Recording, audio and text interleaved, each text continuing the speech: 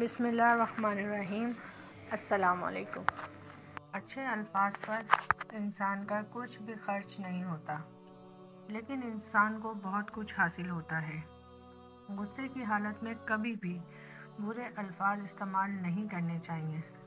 थोड़ी देर में आपका गुस्सा तो उतर जाएगा, लेकिन किसी को आपके लफ्ज़ों से लगे ज़ख्म शायद तमाम उम्र ना ठीक हो सके।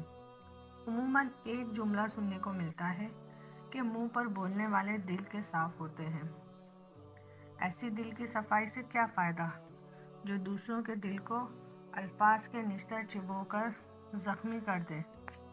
कुछ बातों का बोझ खुद उठाकर दूसरों से दरगुजर का मामला इख्तियार करें, ताकि अल्लाह रब्बुल इज़्ज़त की रज़ा और खुशनुदी हासिल हो सके। सिर्फ़ हाथ ही नहीं, अल्फाज भी सहारा बनते हैं।